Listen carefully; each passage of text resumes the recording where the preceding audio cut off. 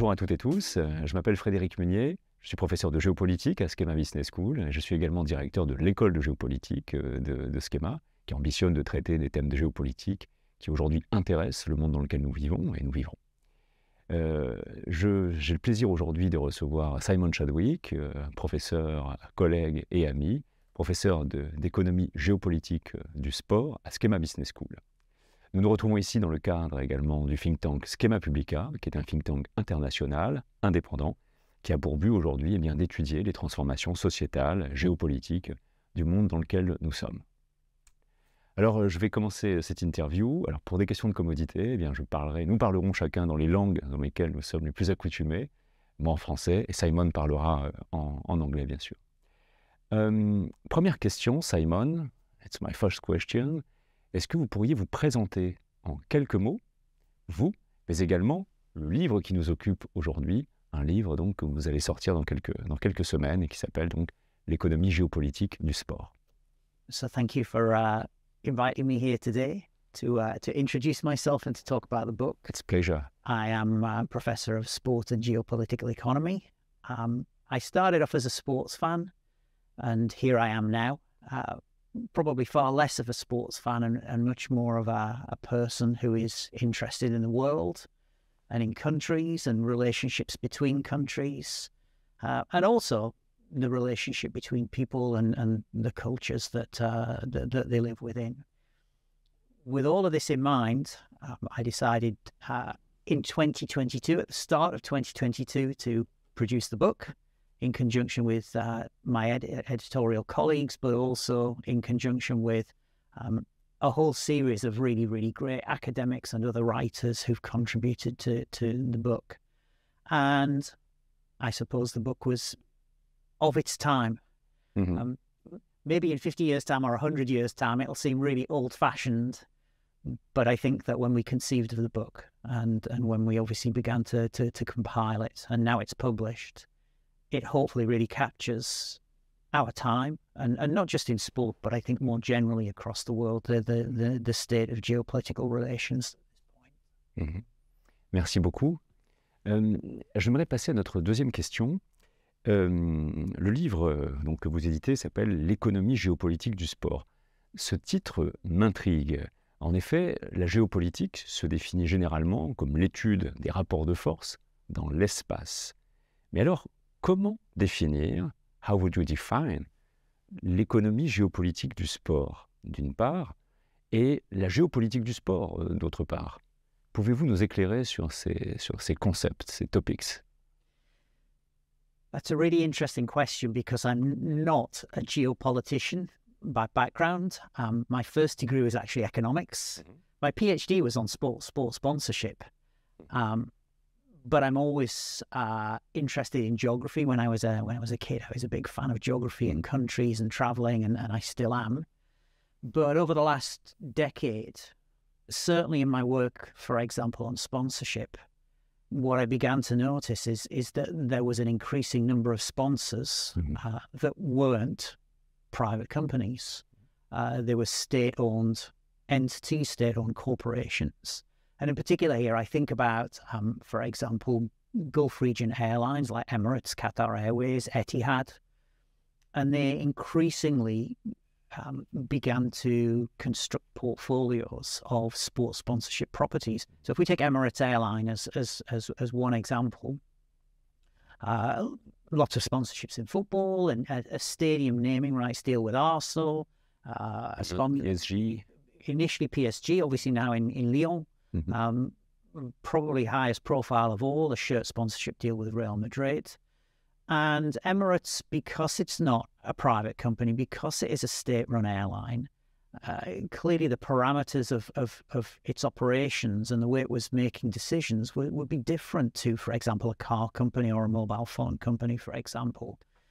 And so it became apparent to me that, that there appeared to be this um, this change in emphasis amongst these kinds of sponsors where they were seeking to achieve state objectives. Mm-hmm rather than pri- private or commercial objectives. I'm not saying that Emirates Airlines is not, not in the business of making money and, and selling tickets and flying flying planes, but there was more to it than that. There, there was nation branding and soft power and nation building.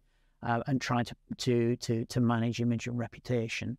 So it was really within that context of of a changing world in which there appeared to be uh, increasing state influence from what we might broadly call the global south. Mm-hmm. And that's a that's an, an interesting term that we could talk about in its own right. Um, this demanded a, a, change in the way that we, we we think about sport and the way in which we we we write and teach sport. But alongside that, we, we can think about, for instance, um, the role of sport in China and, and, and the rise of China, both economic, economically and politically. We can think about the Qatar World Cup. Uh, we can think about South Korea and, and, and South Korean sports strategy. For that matter, we can think about think about France and Britain, um, two countries that are all also very active economically and politically through sport.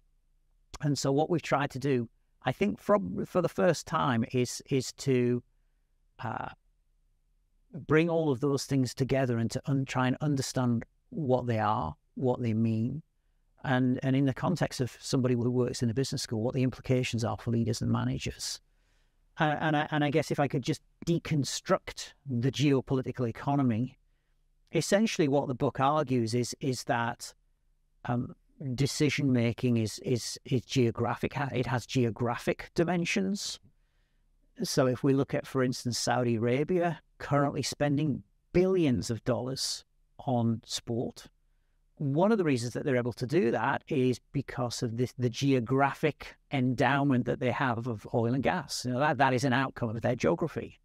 Um, equally, there is a political dimension to, to what Saudi Arabia is doing, but there's a political dimension to, to, to what Britain has done, to, to what the United States has done through sport.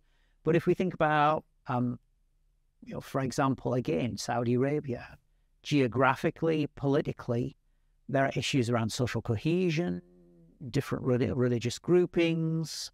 Um, sport helps bring those things together. It helps address issues of social cohesion. Saudi Arabia has a, a view of itself that others across the world don't necessarily share.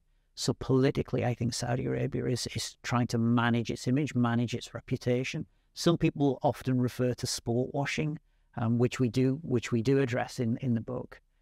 But again, as, somebody who works in a business school, there are economic dimensions to this as well. So there are economic outcomes or consequences of geography and politics. So there's money, there's jobs, there is a contribution to gross domestic product, there are taxes and exports.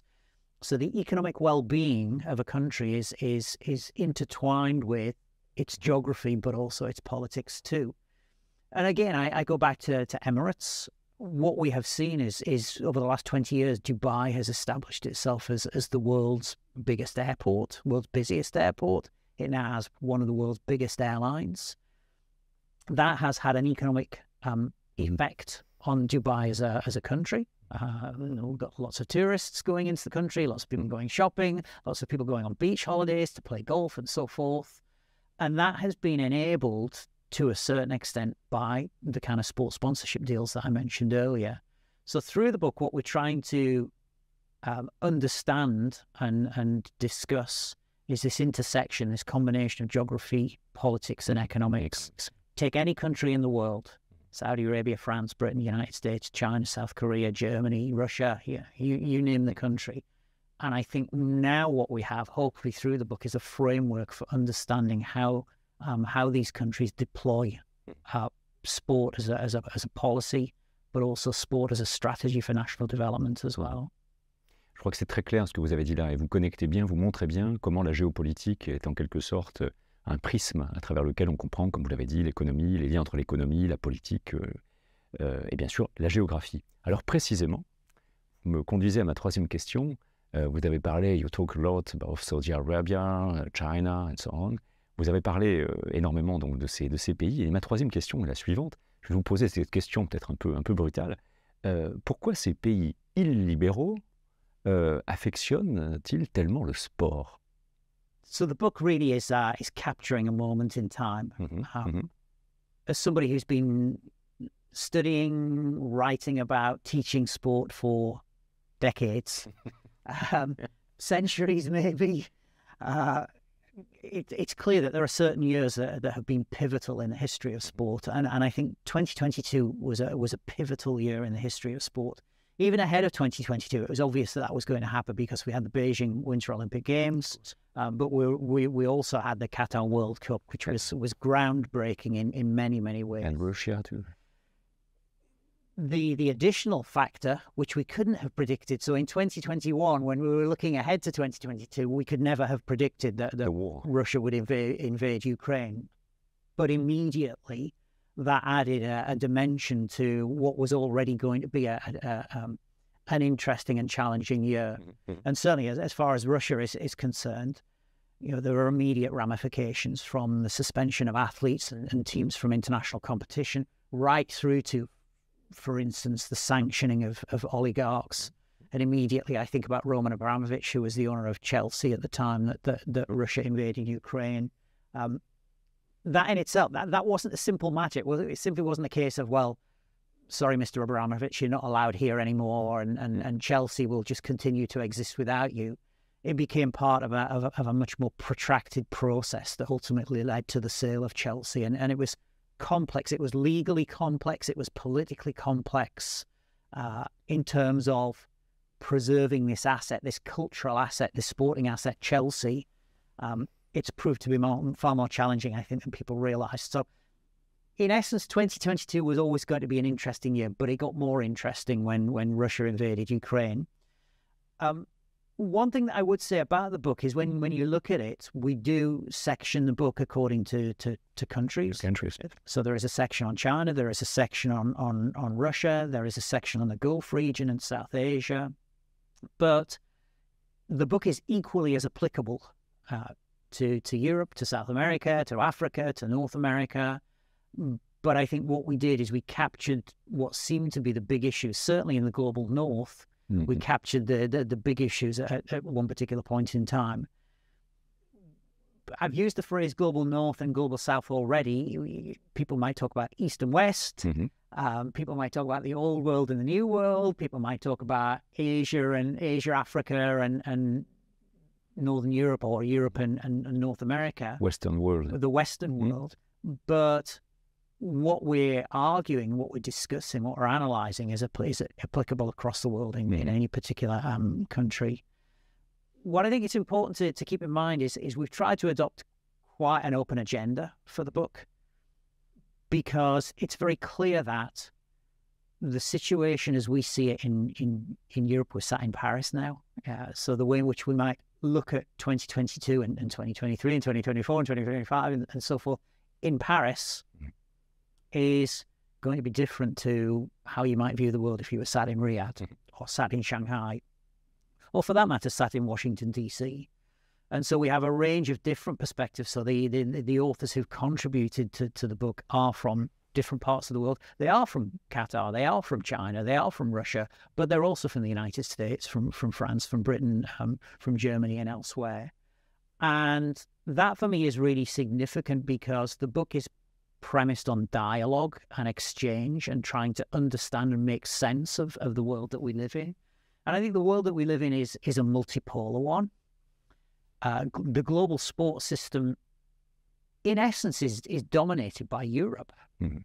Because many of the global sport governing bodies with which people are most familiar were established by Europeans, are based in Europe, mm-hmm. um, and and their presidents largely have been European. So yeah, just to give you give you a couple of examples, you know, we take the uh, we take FIFA for instance. Mm-hmm. FIFA in its entire history, so FIFA 100 years old, um, pretty much. Uh, in its entire history, it has it has only had two non-European presidents, mm-hmm. uh, and one of them was only a, a, a kind of temporary president. Um, so essentially, FIFA has had one non-European president in its entire history. If we look at the FIA, the global governing body of motorsport, again, in its entire history, uh, has never had a European, sorry, a non European president until recently. It now has a, a president from Dubai. And that president from Dubai, I think, is really important because what it does is it illustrates for us that, that in this multipolar world, it isn't just Europeans or for that matter, North Americans who are governing sport.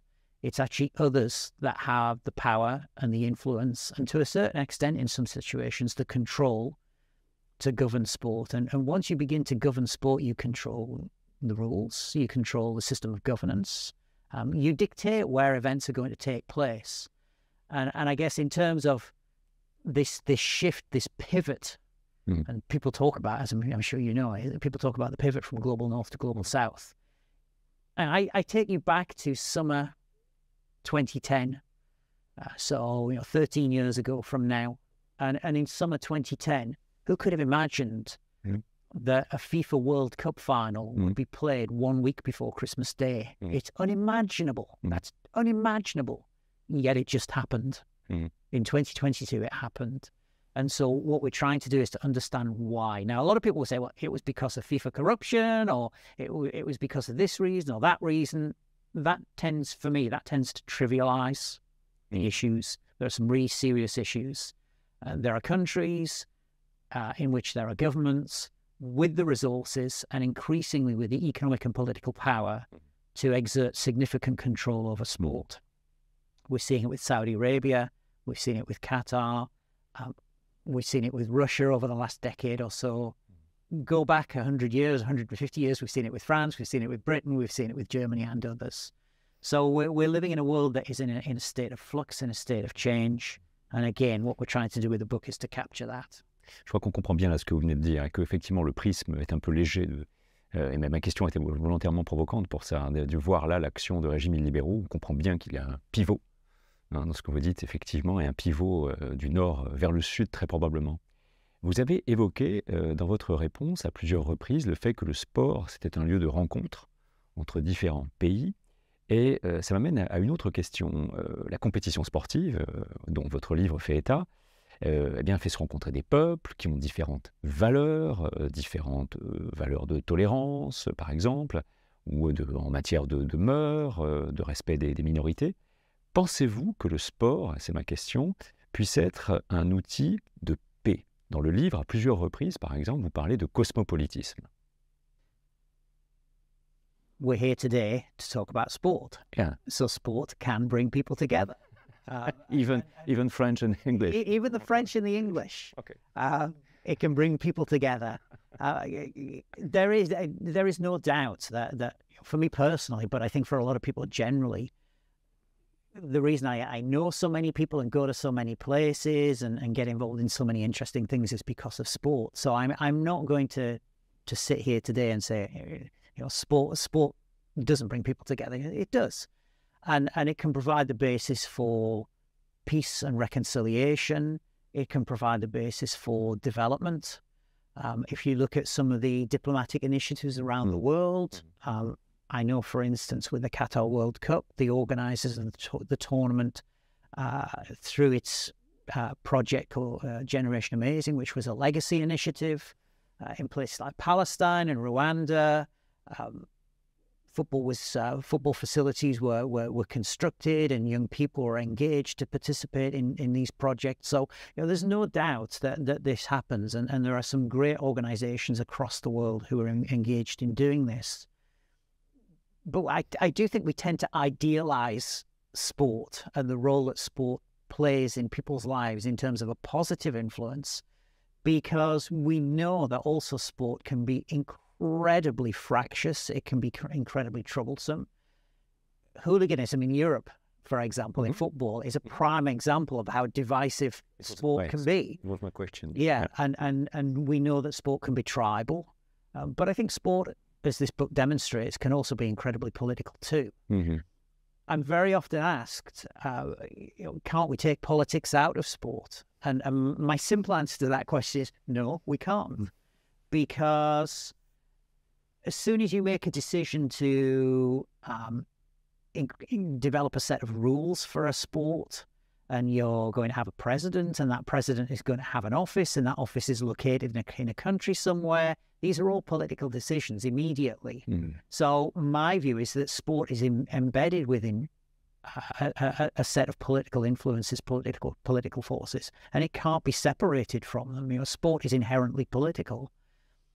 But what I think we're now beginning to to, to see, you know, as, as you will know, we've lived the last 30 years of our lives essentially in a, in a in a world of globalization with the promotion of free trade where there is this uh, open exchange and, and that has been facilitated not just by uh, you know, kind of liberal Western values and capitalism, but by globalization as well.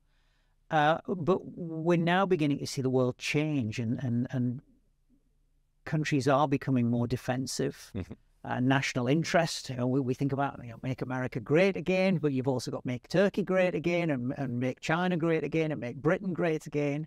So we, we're seeing a much more nationalistic mm-hmm. uh, view. Mm-hmm. Um, certainly, in, in some sectors, there there is a move towards protecting mm-hmm. domestic industry and domestic values, and trying to uphold a particular way of life.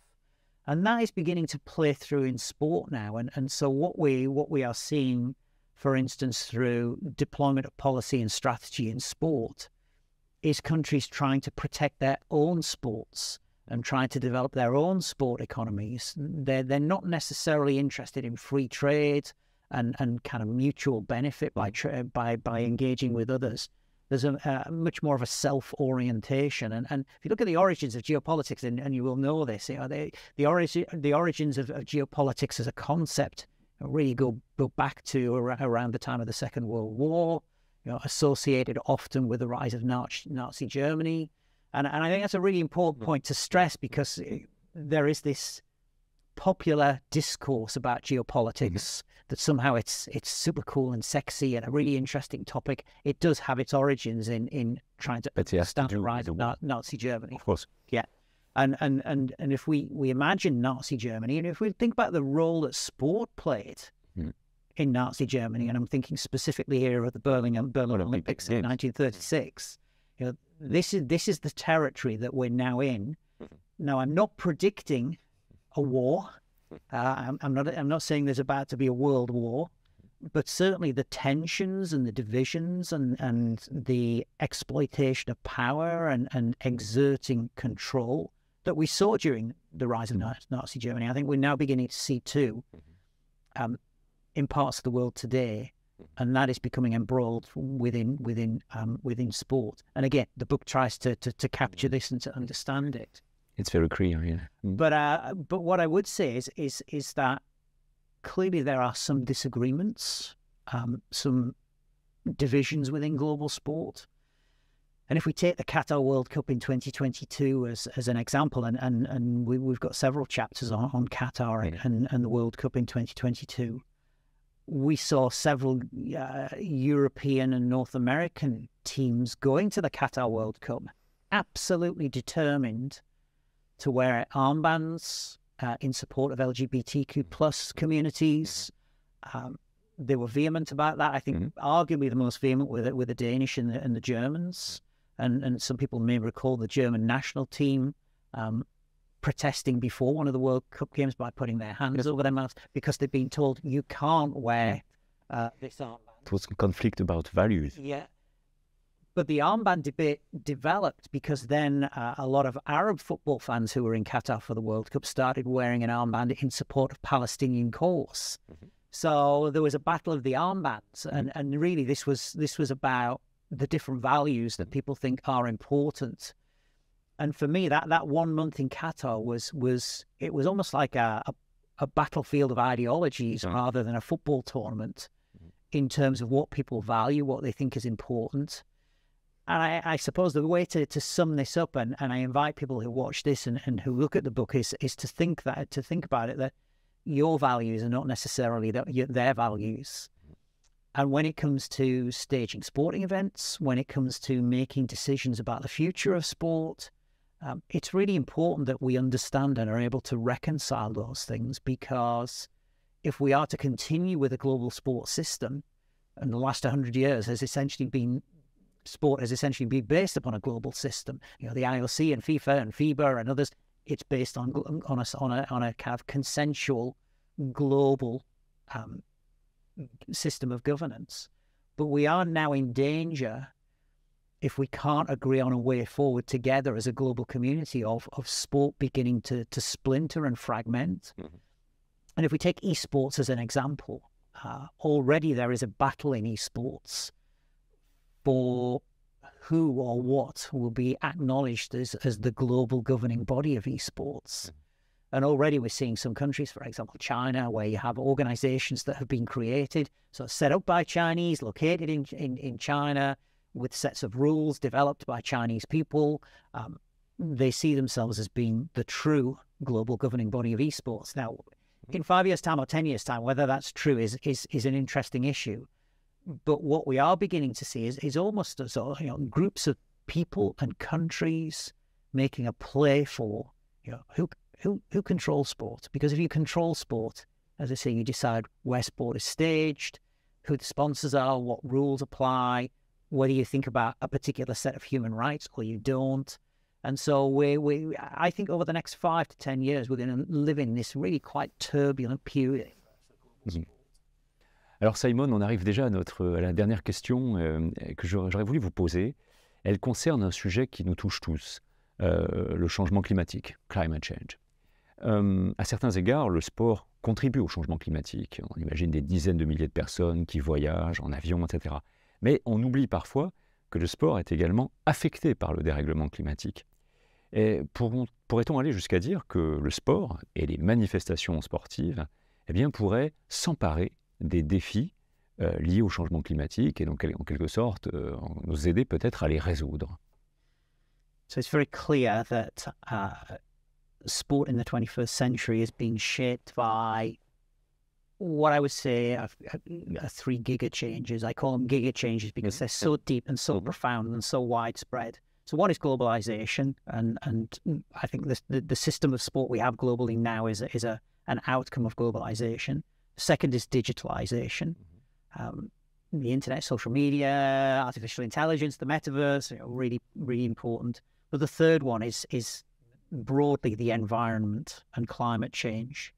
So massive disruptions. Massive, massive disruption. It is it is in, impacting all aspects of sport and will continue to mm-hmm. do so.